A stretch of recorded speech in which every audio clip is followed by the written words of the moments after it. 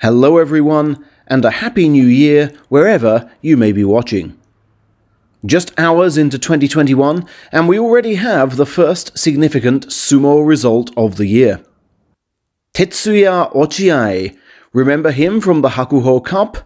Has become National High School Yokozuna in just his second year at Johoku High. Ochiai smashed through a host of tough foes in the New Year's Day All Japan Schools tournament in Tachikawa, finishing with Shoichiro Takeda of Saitama Sakae.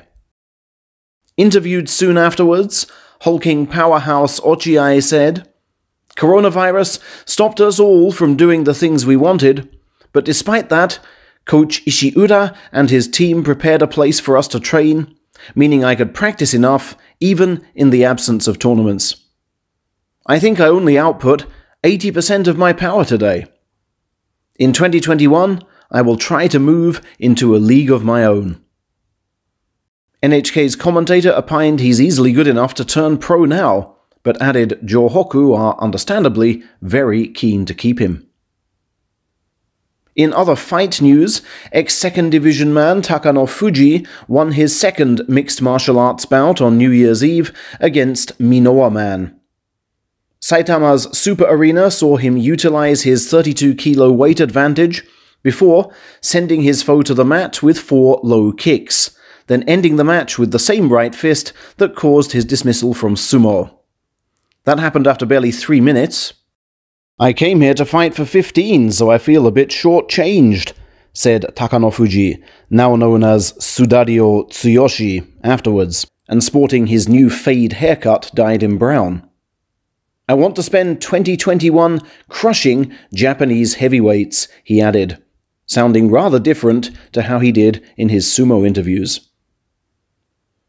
Finally, as I mentioned briefly in my other post today, Wakatakakage tested positive for the virus on New Year's Eve. And I can now report that his older brother Wakamotoharu has tested positive, as has stablemaster Arashio, the ex Sokokurai, and nine other stable members, including a hairdresser. Three of the victims are understood to have a light fever. The other 12 members of the stable have tested negative. However, an at least 10 day isolation period from yesterday or today will take us into the January tournament, which has prompted sumo press chief Shibatayama to suggest that similar to the Tamanoi men last September, the Arashio men will not compete in January 2021. And that's not the half of Shibatayama's worries.